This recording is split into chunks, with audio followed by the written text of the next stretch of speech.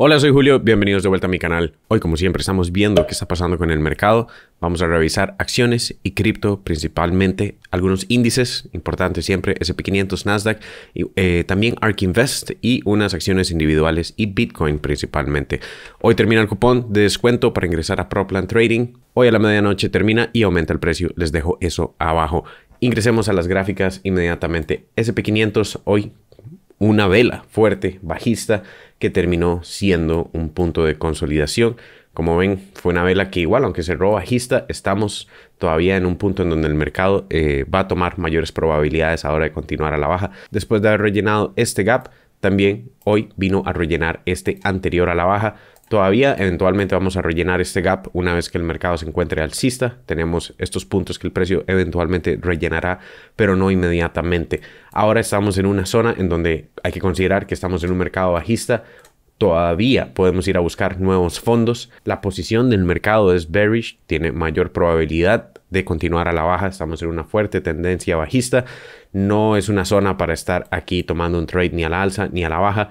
Yo estaría esperando nuevamente pisos que sí, probablemente si continuamos el siguiente mínimo menor que crearíamos sería alrededor de los 3500 para el SP500 podríamos tomar varias semanas antes de llegar a estos puntos, eh, dependiendo cómo se vaya dando la acción del precio. Esperemos unas semanas volátiles porque ha venido aumentando el volumen el día de hoy.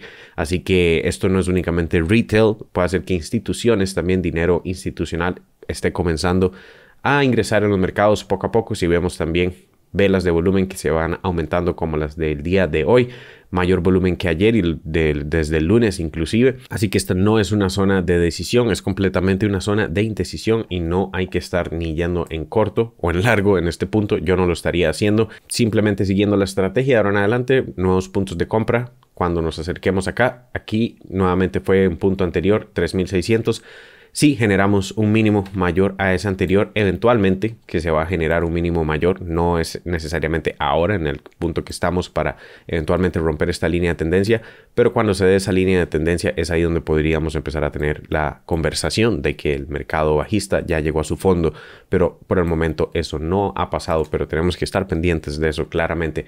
Y ahí es donde podríamos estar alcista en muchas otras acciones también y ETFs. En el caso de ARK Invest es uno que estoy esperando para empezar a invertir fuertemente una vez que empecemos a tener acción del precio si esta línea de tendencia empieza a tener validaciones que podemos ver puede ser inicio de una tendencia. Eso sí, estaría esperando ver cómo se comporta el precio acá.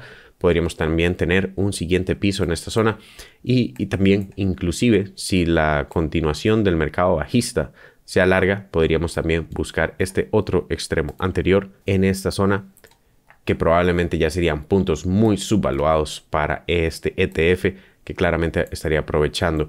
Para estar completamente seguros tendríamos que tener dos cierres, al menos dos velas positivas por encima de este máximo arriba de los 47 dólares y serían buenos puntos para igual o ya sea a estar acumulando desde acá pero aquí para tener mayor confirmación y seguir acumulando entonces ARK Invest es definitivamente un ETF en el cual estaría aprovechando sin necesidad de estar eh, buscando acciones individuales. También incluso eh, tiene Tesla dentro y muchas otras acciones que ya poseen en el portafolio. Pero eh, hace tiempo estaba esperando puntos económicos para este ETF que claramente los tenemos. Ahora en total, desde el punto más alto, sería un retroceso de 77% que nos da desde esta zona en donde estamos un crecimiento de 300%. Claro, tomará mucho tiempo llegar aquí nuevamente, para eso tendríamos que probablemente el SP500 y Nasdaq estar llegando a sus máximos también. Pero hay que recordar que el sector de innovación es de mayor riesgo y se mueve con muchísimo más fuerza una vez que el mercado ya llega a un movimiento alcista. Estamos risk on, estamos nuevamente con inversionistas, instituciones buscando el sector de riesgo tiene muchísimos más rendimientos que lo tradicional. En el caso de Tesla, vinimos a rellenar este gap que habíamos creado anteriormente y una vez que se rellenó tuvimos consolidación, una barra igual a la que tuvimos en el SP500 de total indecisión. Estos no son necesariamente puntos de compra, todavía tenemos posibilidades bajistas y como podemos ver estamos completamente en una indecisión por todo lado. Esto eventualmente romperá y es ahí donde tendremos una segunda confirmación para ver si Tesla continuaría a la baja o continuaría a la alza dependiendo donde tengamos acción del precio. Y Bitcoin, en el caso que hoy también fue un día rojo para el mercado en general, también fue un día rojo para Bitcoin y nuevamente Bitcoin cae con mayor fuerza que el S&P500, con mayor fuerza que Nasdaq. Tal vez incluso pueda ser algo similar a ARK Invest, puesto que es sector de innovación, completamente tecnología y en este caso Bitcoin se mantiene todavía en esta zona. Es un soporte importante puesto que aquí cerraron estas velas anteriores en los 18.900 que es donde se encuentra el precio. Así que por este momento y un rompimiento de esta zona nos traería a los siguientes puntos que algunas personas considerarían que podrían ser los 14.000 pero realmente tenemos mayor soporte cerca de los 12.500 con mayor cantidad de validaciones. Toda esta área es una zona donde no tenemos aquí soportes de ningún tipo. Esto podría ser una caída libre eventualmente.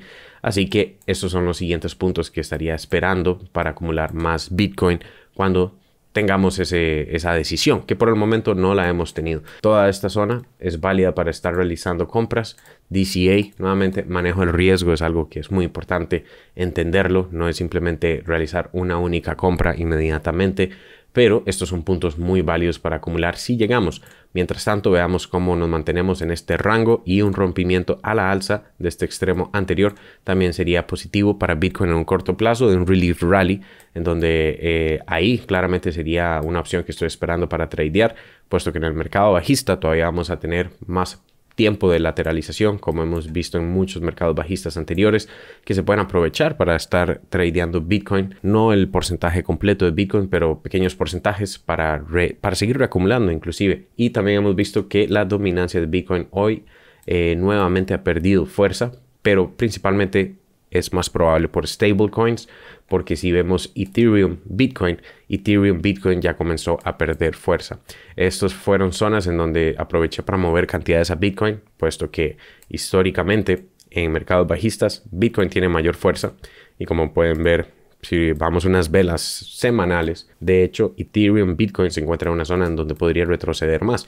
Eventualmente también movería más cantidades a Ethereum, a un menor precio, que eso es lo que quiero aprovechar. Eh, ahora que Bitcoin tendría mayor dominancia, eventualmente en un retroceso más profundo Ethereum podría otra vez acumular Ethereum a un mejor precio. Es básicamente el reacomodo del portafolio y probablemente vamos a ver lo mismo con Cardano. No necesariamente el precio de Cardano en dólares se vería afectado, tampoco el precio de Ethereum necesariamente se vería afectado, pero su evaluación con Bitcoin, lo que sería Ethereum, eh, Bitcoin y Cardano, Bitcoin es probable que sí continuemos a la baja, puesto que sí nos lo ha demostrado anteriormente el mercado bajista, como estas zonas de acá. Y ahí aprovecharía para otra vez acumular más Cardano, probablemente más Solana también, que de la misma manera tuvo una corrida que funcionó para mover al portafolio mayor cantidad de Bitcoin y después eventualmente se puede volver a acumular mayor Solana, mayor Ethereum, mayor Cardano a un menor precio. Eso es lo que tuvimos el día de hoy en el mercado. Probablemente con este aumento de volumen nos empieza a indicar eh, mayor dinero institucional. El mercado bajista no se acaba únicamente por retail traders, necesitamos instituciones agarrando confianza en el mercado otra vez para que el mercado eventualmente tenga un rompimiento de esta línea de tendencia y comencemos a tener la discusión del fondo. Eh, el fondo se, se daría antes y después tendríamos la discusión de que el mercado bajista está llegando a su final y estamos iniciando un mercado alcista después de eso, pero no lo tenemos hasta que tengamos acción del precio positiva por arriba de esta resistencia. Por el momento estos puntos son válidos, nuevamente ya sabemos cuáles son los siguientes puntos de compra. Yo voy a estar esperando para ARK Invest y algunas acciones individuales. Nvidia sería también una de ellas que está validando este extremo anterior y por el momento, aunque podríamos todavía tener un siguiente fondo que sería esta zona de acá, eh, estos puntos son interesantes para iniciar a acumular Nvidia y aquí claramente con mayor razón. Pero estaré pendiente que lo que está pasando en el mercado y siempre lo estoy mencionando. Nuevamente todo esto siempre lo estoy mencionando en las sesiones en vivo dentro de la academia. Les dejo el enlace abajo que termina hoy el descuento a la medianoche. Por si quieren ingresar, déjenme un like si les gustó este video. Recuerden suscribirse dándole a la campana para que no se pierdan el siguiente. Les dejo otro video aquí que les pueda interesar y nos vemos en el siguiente. Chao.